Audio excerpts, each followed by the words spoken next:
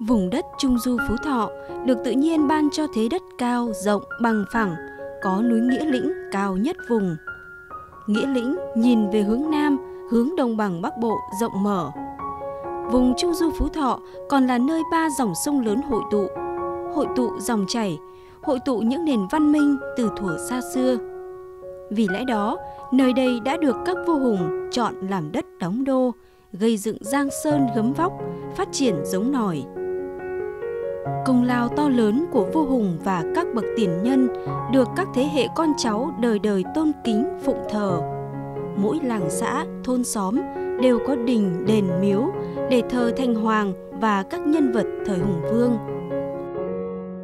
Mấy trăm năm đã trôi qua, ngôi đình tranh này như bao ngôi đình cổ trên vùng đất tổ vẫn là chứng nhân cho lòng biết ơn của nhân dân thôn nhượng bộ với thành hoàng làng một vị tướng có công thời kỳ hùng vương dựng nước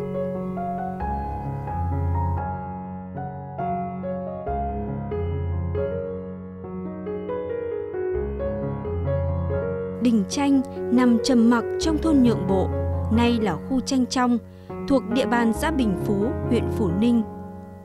Đây là một công trình kiến trúc nghệ thuật có giá trị văn hóa, lịch sử, được nhà nước xếp hạng di tích lịch sử văn hóa cấp quốc gia năm 1996.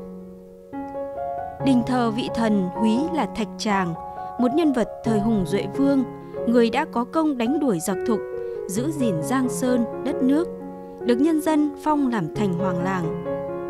Đây là một ngôi đình trong hệ thống các di tích thờ vua Hùng, vợ con và tướng lĩnh trên địa bàn tỉnh Phú Thọ. Đình được xây dựng từ thời Hậu Lê, được tu sửa lớn vào thời Nguyễn và một số năm sau này. Ngôi đình cổ, dưới mái ngói đã nhuộm màu thời gian, là kiến trúc trồng giường, giá chiêng, hạ bảy.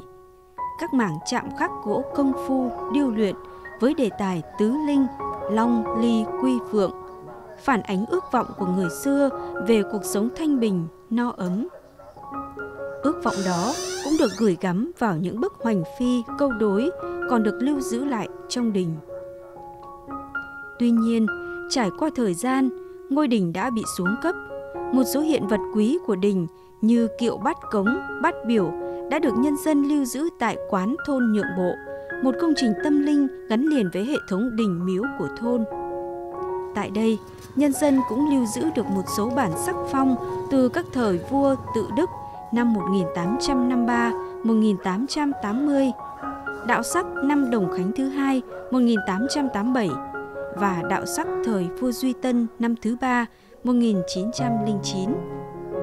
Đó là những cổ vật minh chứng cho những giá trị lịch sử của ngôi đình này. Theo lời các cụ cao niên trong thôn, đình tranh có 3 ngày tiệc chính đó là ngày 9 tháng Giêng là ngày mất của Thạch Tràng, ngày 2 tháng 9 ngày sinh của Thạch Tràng. Và ngày 10 tháng 3 âm lịch là ngày dỗ tổ Hùng Vương.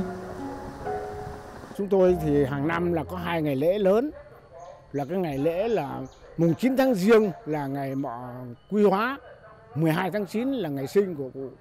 Thế đến bây giờ được di được cấp di tích ừ, lịch sử thì mùng 10 tháng 3 là chúng tôi cũng tổ chức thờ cúng hùng vương để tổ chức tức là ba đợt thờ cúng. Thế ngày xưa là chúng tôi ờ, tổ chức hàng năm vào các ngày ờ, lễ đấy là chúng tôi cúng tế rồi là, là rước kiệu. Trong lễ thì gồm có là cái ngày thời cổ ngày xưa là mổ con lợn sống nha là để thờ. Nhưng bây giờ làm đơn giản là chúng tôi chỉ mổ gà thôi thì cúng. Ban cúng lễ thì nó thành ban khánh tiết tức là có ông chủ tế ông sướng tế rồi là có ông nghinh hương nghinh đèn là, là đủ hết mong cho ờ, mua mưa thuận gió hòa cho dân dân khang phật thịnh. Thế thì làm ăn là tấn tới hàng năm được uh, có con cháu được bình yên học hành đến nơi đến chốn. Xưa kia, trong những ngày diễn ra tiệc làng, dân làng thường tổ chức rất nhiều các hoạt động như thi đấu cờ người, nấu cơm thi, làm bánh. Nhưng nay, do điều kiện kinh tế, xã hội, nhiều hoạt động trong dịp hội làng không còn được tổ chức thường xuyên. Song, những ngày tiệc chính vẫn được dân làng tổ chức tại đình một cách trang nghiêm và thành kính với nghi thức tế lễ tưởng nhớ công đức vị thần Thạch Tràng, công đức của các vua hùng. Trong thôn Nhượng Bộ xưa, nay là xã Bình Phú, nhân dân vẫn đang trông nom gìn giữ hai ngôi đỉnh cổ có niên đại kiến trúc như nhau và mang những giá trị lịch sử văn hóa như nhau. Đó là đình tranh, còn được gọi là đình tranh trong và đình nhượng bộ ngoại thôn, đình tranh ngoài. Đình nhượng bộ nằm trên một địa thế thoáng mát, rộng rãi mà tĩnh mịch, thâm nghiêm. Từ xa, mái đình hiện lên những đầu đao cao vút, đắp hình rồng uốn lượn. Chính giữa là hai trụ cổng cao gần 8 mét, được trang trí thành hình hổ phù, tứ linh. Trên đỉnh cột đắp bốn hình phượng. Hai bên cổng là hai cổng phụ, kiến trúc theo kiểu hai tầng tám mái. Phía trước cổng đình được xây tường bao loan, đắp hình rồng mềm mại, cổ kính. Có phần giống như những ngôi đình trên vùng đồng bằng Trung Du Bắc Bộ. Đình Nhượng Bộ cũng lưu giữ nghệ thuật chạm khắc gỗ điêu luyện. Những bức chạm trổ tinh vi nằm ở các kẻ bảy hiên, các bức cốn nách đình. Các bảy hiên của đình đều được chạm nổi hai mặt với các hình vân mây, đao mác, hoa lá, cách điệu. Hai bảy và hai bức cốn phía trước gian giữa đình được chạm chủ đề tứ linh với kỹ thuật đục bong chạm nổi, đường nét sắc gọn, mềm mại, mang phong cách chạm trổ thời hậu lê. Chính giữa đình là bức hoành phi có ghi Thánh cung vạn tuế, có ý nghĩa ca ngợi công đức thành hoàng, trường tồn mãi muôn đời.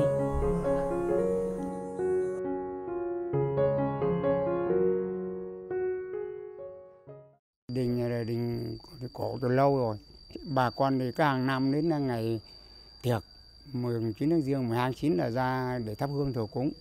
Và bây giờ thêm cái mùng 10 tháng 3 nữa là dân làng ra để còn đem lễ nghi rồi là thắp hương. Các cái đồ văn mà đồ, đồ bàn thờ rồi là ngai và nói chung là các cái đồ giống trong đình là vẫn nguyên bản. Ví dụ như là cái cô ngai rồi là các các cái câu đối rồi hoành phi rồi là vẫn còn nguyên bản.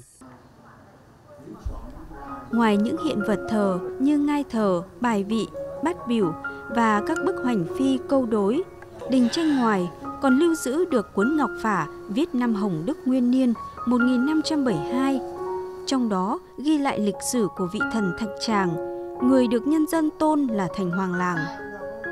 Cùng với đó là bốn bản sắc phong giống như đỉnh tranh trong, góp phần chứng minh về lịch sử và ý nghĩa văn hóa của ngôi đình. Đối với xã Bình Phú bây giờ là có 5 đình ba chùa. À, là đặc biệt là đối với hai cái đình tranh trong và tranh ngoài. Hàng năm thì à, ủy ban nhân xã đã chỉ đạo đối với các khu và đối với các cụ để thắp hương thờ cúng các ờ, thần hoàng này trong cái di tích hai đình này. Đình Nhượng Bộ là di tích lịch sử văn hóa cấp quốc gia, mang trong mình những giá trị lịch sử, văn hóa, đạo lý, uống nước nhớ nguồn từ thời kỳ hùng vương dựng nước. Hai ngôi đình thôn Nhượng Bộ được chính quyền và nhân dân địa phương quan tâm giữ gìn bảo vệ để duy trì nơi sinh hoạt, giáo dục truyền thống cho các thế hệ sau. Những câu chuyện về thành hoàng Thạch Tràng Đại Vương được truyền lại trong ngọc phả và truyền miệng. Tuy có những yếu tố thần bí, hoang đường, nhưng nói lên niềm tin của nhân dân vào công lao to lớn của các vị nhân thần trong cuộc đấu tranh giữ nước. Trước tình trạng xuống cấp của hai ngôi đình, việc bảo tồn, tôn tạo để phát huy các giá trị lịch sử vốn có tại đỉnh tranh và đỉnh nhượng bộ là nguyện vọng tha thiết của những người dân nơi đây. Làm được điều đó là góp phần khẳng định việc bảo lưu và phát triển giá trị văn hóa của các di tích thờ hùng vương trên địa bàn tỉnh Phú Thọ, thể hiện đạo lý uống nước nhớ nguồn, ăn quả nhớ người trồng cây của dân tộc Việt Nam.